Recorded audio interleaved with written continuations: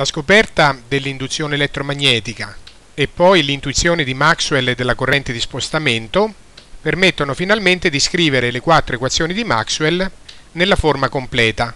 Le prime due equazioni di Maxwell riguardano il campo elettrico e la terza e la quarta riguardano il campo induzione magnetica, come è scritto anche qua, campo elettrico la prima colonna, campo induzione magnetica la seconda. Lette in orizzontale invece le prime due, eh, cioè la prima riga, cioè la prima e la terza equazione di Maxwell, riguardano i flussi, i flussi attraverso superfici chiuse, il flusso del campo elettrico e il flusso del campo induzione magnetica. La seconda riga invece, cioè la seconda e quarta equazione di Maxwell, riguardano le circuitazioni del campo elettrico e del campo induzione magnetica.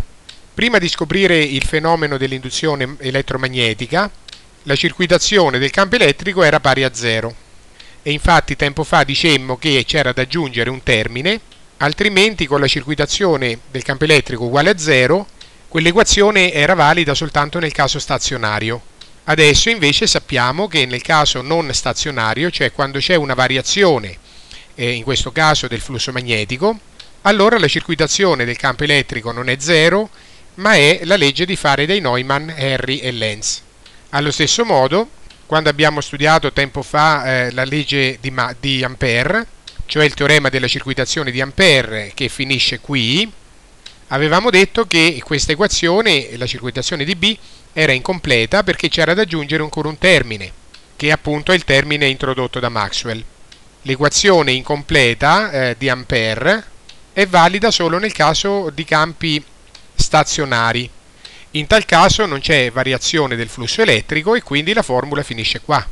Confrontando velocemente le quattro equazioni di Maxwell, su cui poi ritorneremo più avanti,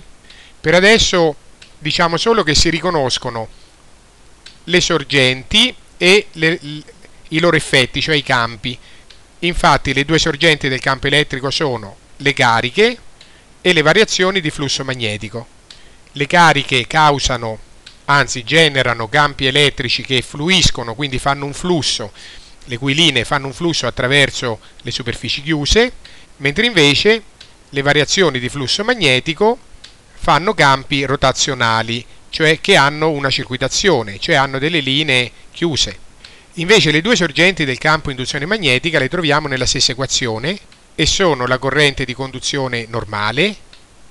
e la corrente di spostamento che in pratica è la variazione del flusso elettrico e entrambe queste eh, sorgenti generano campi B dalle linee circolari, cioè generano campi B che hanno una circuitazione.